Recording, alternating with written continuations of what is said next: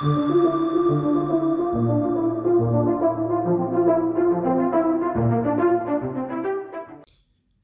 a tutti, sono sempre Greg e questo è il mio canale In Genere Horror. Questo video inaugura una nuova rubrica, una nuova playlist per riscoprire dei film precedenti a tutto quello che, eh, che faccio eh, di volta in volta, cioè recensioni degli ultimi, delle ultimissime uscite in streaming, in piattaforma streaming e in sala perché mh, se è vero che nella playlist de- dedicata al trash o dedicata ai capolavori parlo anche di film del passato, ma è anche vero che ci sono poche occasioni per riprendere qualche film del passato, parlarne in poche, in poche parole, ma soprattutto proporverli per un recupero, una seconda visione, una, una prima visione se siete dei nuovi appassionati di cinema horror. E quindi inauguro quelli che sono in maniera molto umile i miei consigli che eh, arrivano da una persona che è un appassionato di cinema horror come voi. Io consiglio sempre di vedere tutti i film, però ripeto, eh, se magari c'è poco tempo e poche occasioni ci sono per recuperare dei film del passato più o meno recente, più o meno remoto, ecco che qualche spunto io ve lo do volentieri. Quindi sono degli spunti, sono dei consigli, io in maniera molto molto umile sottovoce vi do questi tre consigli di oggi. E il primo è Nocturne o Notturno, un film che potete trovare su Prime Video. Ora in descrizione vi darò anche la scheda tecnica e dove vedere i film. Però ve lo dico anche a voce, Prime Video è una coproduzione Blumhouse eh, Amazon Studios. È un film di Zuckerk del 2020, quindi recente, ma di un paio d'anni fa. Ed è un film che sembra già essere lì a prendere la polvere, perché poco se ne parla e poco secondo me se ne è parlato. Non è un capolavoro perché i, i consigli che, che, do di volta in volta non riguardano solamente capolavori, ma magari piccoli film, piccoli gioiellini che devono essere scoperti, riscoperti anche. Qui si parla di due sorelle, due musiciste, due talenti del pianoforte che vanno a scuola di musica. La prima, una, una sorella, però vive alla luce del sole, vive eh, con, eh, attorniata da, da, persone che le vogliono bene, relazioni sociali eh, ben solide. Un ragazzo, un fidanzato, che fatalità però è conteso con l'altra sorella che vive nell'ombra, che non ha relazioni sociali, che vuole rivalsa. La rivalsa la otterrà e riuscirà ad averla grazie al ritrovamento di un quadernetto che contiene appunti e spartiti, che è un quadernetto che appartiene, o meglio apparteneva ad una ragazza della scuola la più talentuosa, quella che doveva suonare come solista al concerto di fine anno della scuola e che è morta suicida. Ecco che questo quadernetto sarà la possibilità di rivalsa e di ottenere il successo che tanto desidera la ragazza. Però quanto costa il successo e dove ci si vuole, fino a che punto ci si vuole spingere per ottenere il successo? Basta, mi fermo qui perché il film è tutto da vedere, inquieta, eh, crea tensione, crea un po' di ansia, quella giusta che, che, che viene creata dai film dell'orrore, fatti bene, che sono quelli che considero quei piccoli gioiellini da riscoprire, da rivedere o da vedere per la prima volta, perché ripeto, non mi pare che sia, molto, sia stato molto pubblicizzato. Non è, ripeto, un capolavoro, ma un film che a me era piaciuto e che quindi mi va di consigliarvi se volete recuperare un film di un paio di anni fa. Il secondo film che vi voglio consigliare, qui ci, si alza un po' la, la, decisamente l'asticella perché qui si parla di capolavoro, è inutile girarci tanto intorno, ed è il capolavoro di Brian Usna, Society the Horror. Non lo si trova in streaming o forse lo si trova su quelle piattaforme che lo, lo fanno vedere anche con pubblicità, ma sicuramente lo potete trovare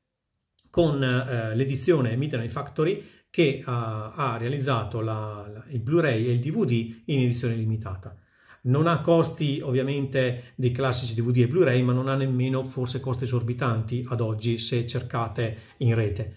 È comunque un film che eh, conosceranno a menadito gli appassionati di cinema horror, che va però consigliato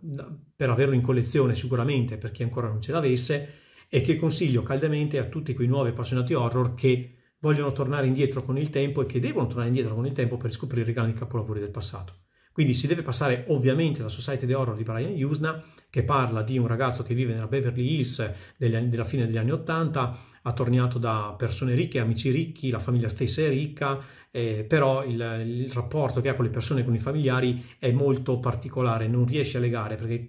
parenti e amici si comportano in modo strano, sembrano avere dei segreti inquietanti e i segreti inquietanti verranno fuori nella seconda parte del film che è un film che è un vero e proprio body horror, quindi se vi piace il body horror questo è un grande, grandissimo esempio di body horror. Ed è un film ovviamente che è un, che è un cult ma è anche un capolavoro. Il terzo eh, consiglio che, eh, che vi do è quello di tornare un bel po' indietro nel tempo, ma secondo me l'asticella si alza veramente molto. Siamo nel 1935, non spaventatevi, perché qui si parla di un periodo comunque che ha dato alla luce grandissime produzioni. Dracula, Frankenstein e proprio Frankenstein darà poi come conseguenza alla luce un altro film, cioè il seguito, il suo seguito. Forse il primo esempio del seguito migliore del primo film. Siamo due, a due film siamo a due livelli altissimi, però Frank, il, il, seguito di Frankenstein, la moglie di Frankenstein, è un capolavoro assoluto della storia del cinema, per messa in scena, per tecnica, per, per modo mh, anche rivoluzionario di, di, fare un film, perché siamo nel 1935, quindi dobbiamo renderci conto del periodo storico in cui è stato fatto, dei mezzi che si avevano a disposizione, ma del grandissimo talento di James Whale e di tutti quelli che hanno eh, contribuito a realizzare il film. E il film è, è, è, la storia, in pochissime parole, la prima creatura di Frankenstein è sopravvissuta al primo film, al, finale del primo film, vaga per le campagne, è, ricerca, è alla ricerca e sta crescendo emotivamente come sentimenti, perché già nel primo film si, si, capiva e si percepiva qualcosa di questo tipo, ma in questo film che eh, c'è un'evoluzione forte, fortissima dal punto di vista emotivo e sentimentale da parte della creatura di Frankenstein, che ha anche bisogno di amore e l'amore lo troverà nella, in quella che è la moglie, che gli viene creata eh, appositamente dal dottor Frankenstein e dal suo vecchio eh, professore di medicina. Creeranno questa, questa creatura di sesso femminile il titolo al film e che è quella, quell'iconica figura e creatura dalla capigliatura, capelli neri striati con del, um, a zigzag di bianco ai lati. È la famosissima capigliatura che trovate ovunque, dalle serie tv ai cartoni animati, alle parodie, ai film horror, è ovunque, è talmente iconica che veramente la si trova quando qualcuno vuole mettere un, elemento horror anche di pochi, eh, di pochi, secondi, basta utilizzare quel tipo di capigliatura e già si, si ritorna a un classicissimo del cinema horror, ma anche un classico del cinema nel, nel suo complesso, un capolavoro assoluto. Mm, mi rivolgo soprattutto ai nuovi appassionati, quelli che potrebbero far fatica ad affrontare a già un film degli anni 80, figuriamoci un film del 1935, ma andate oltre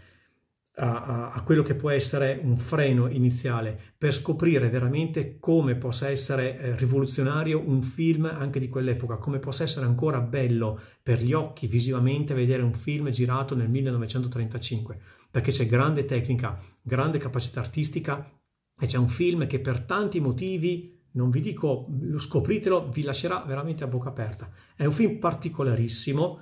ed è un film che deve assolutamente piacervi perché vi piacerà sicuramente.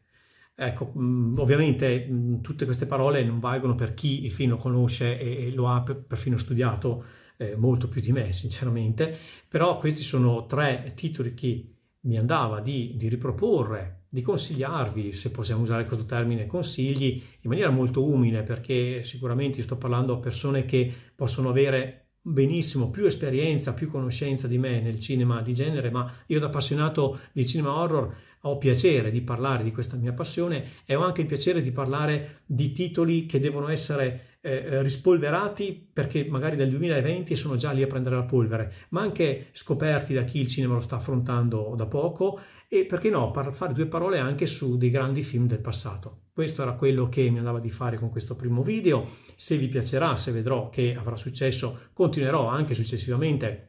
a mettere dei video con dei suggerimenti o dei consigli che mi possono venire in mente di volta in volta con dei film che hanno dei motivi uno diverso dall'altro per essere riscoperti.